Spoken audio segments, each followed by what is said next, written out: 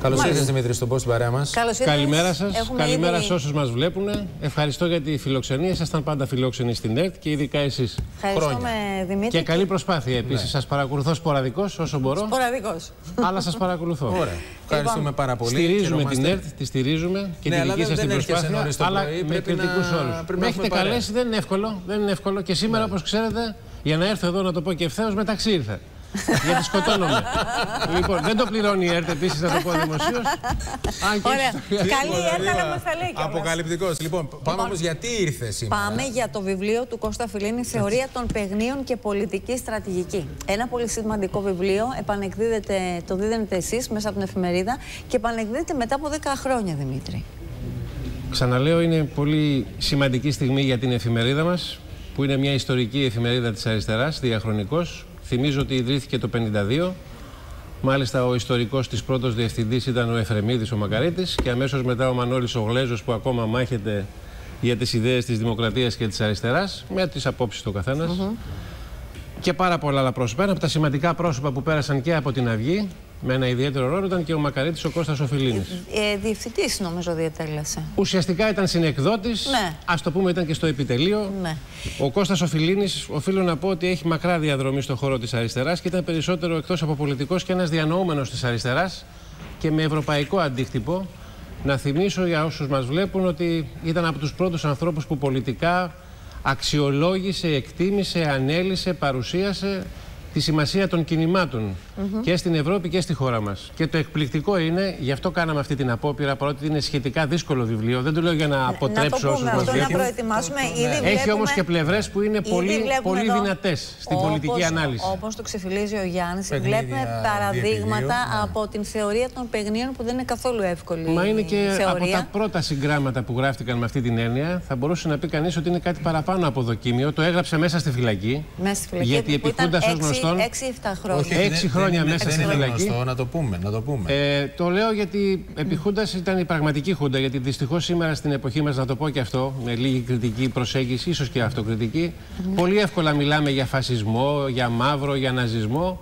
Ενώ ξεχνάμε ποιος ήταν ο πραγματικός φασισμός και η δικτατορία στη χώρα μας και όχι μόνο στη χώρα μας. Και η κίνδυνη βέβαια από την ακροδεξιά. Εφτά χρόνια λοιπόν μαύρο ήταν η μόνη εφημερίδα που κλείστηκε από τη δικτατορία η Αυγή και άλλη μία που την έκλεισε μόνη της η Μακαρίτησα Ιβλάχου. Το θυμίζω συνέχεια, τα ξεχνάμε αυτά και οι νέοι άνθρωποι δεν τα μαθαίνουν. Είναι καλό. Και έχει σημασία να τα λέμε αυτά. ναι, Άρα δύο έντυπα. Ένα της αριστεράς το έκλεισε η Χούντα και ένα αυτοκλείστηκε της κεντροδεξιάς. Εγώ θα ήθελα να Λέω λοιπόν ο Φιλίνης μέσα στη φυλακή. ναι. Αντί να κάνει άλλα πράγματα, αν και ξέρετε, είναι παράδοση και για τους φυλακισμένους, τους εξόρου της αριστεράς και όχι μόνο. Και του κέντρου παλιότερα, mm -hmm. πάμε και στις εποχές του Βενιζέλου κλπ. Γιατί δυστυχώς έχουμε και παράδοση διχασμών στη χώρα. Ναι συνέγραψε αυτό το βιβλίο το οποίο πρωτοβγήκε στην Ιταλία από τους Editori Riuniti γιατί είχαμε δικτατορία ναι. και μάλιστα και ένα κεφάλαιο που είχε γράψει επί δικτατορίας λόγω της λογοκρισίας δεν μπόρεσε να κυκλοφορήσεις στην Ελλάδα και βγήκε για πρώτη φορά, όπως λέμε, η έκδοση, ουσιαστικά δεύτερη έκδοση, αλλά πρώτη για την Ελλάδα νόμιμα, πριν από 10 χρόνια από τις εκδόσεις Θεμέλιο που τους ευχαριστούμε και όλα γιατί είναι μια ναι. προσφορά αυτό. Έτσι.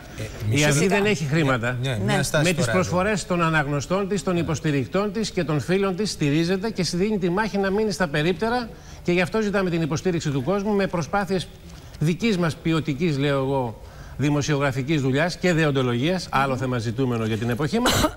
και υπάρχει και ένα θέμα να καταλάβει ο κόσμος ότι παρά τη δαπάνη που κάναμε, δεν θα βγάλουμε τα έξοδα έχει σημαδιακή σημασία και στη μνήμη του Κώστα του Φιλίνη και για την πολιτική συγκυρία.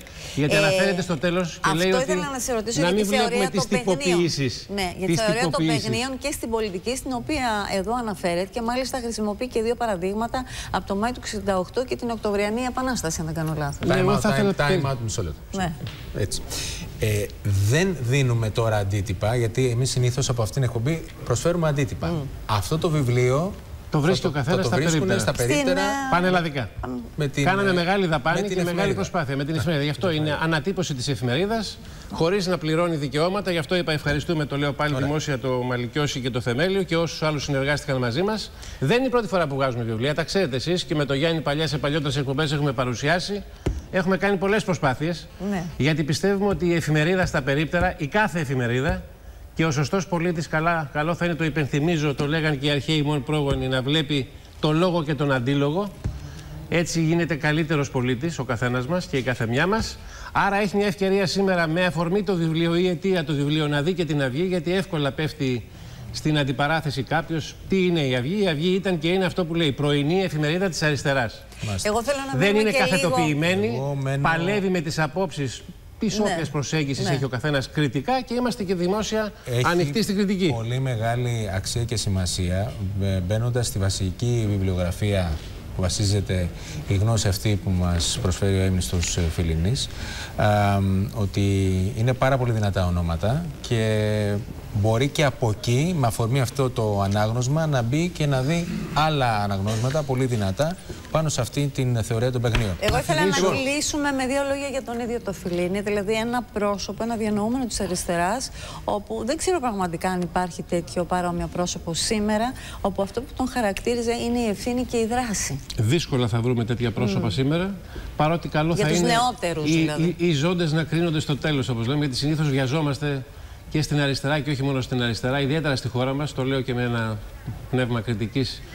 Πολλές φορές να κάνουμε εύκολες τιμές ή προώρες. Τέλος πάντων, αυτό είναι μια γενικότερη συζήτηση. Ο Κώστας Οφιλίνης και ως πολιτικός έδωσε ένα παράδειγμα ανιδιοτέλειας, mm -hmm. απόλυτης εντυμότητα, γιατί στην πολιτική παρέμενε και παραμένει κρίσιμο όχι μόνο στη χώρα μας.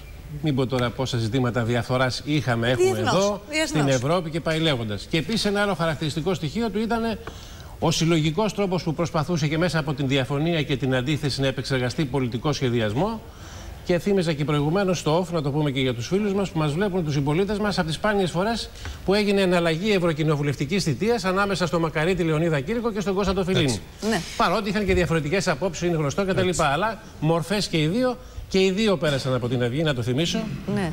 Προδικτατορικά ήταν και διευθυντής της Αυγής ο Μακαρίτη, ο Λεωνίδας ο Κύρκος. Είπαμε για τον Κώστα το Φιλίνη και νομίζω ότι και οι δύο οι μορφές, αλλά τώρα μιλάμε για τον Κώστα το Φιλίνη, άφησαν τη σφραγίδα τους να τους να τους θυμούνται οι νεότεροι και να ψάχνουμε κι εμείς λίγο να τους μιμηθούμε στα βασικά. Δημήτρης, Γιατί από εκεί και πέρα τα ζητούμενα για τη δημοκρατία μας και την αριστερά είναι μεγάλα και στη χώρα μας και στην Ευρώπη. Σε ευχαριστούμε λοιπόν, πάρα πολύ. Εγώ σας ευχαριστώ. Καλή συνέχεια.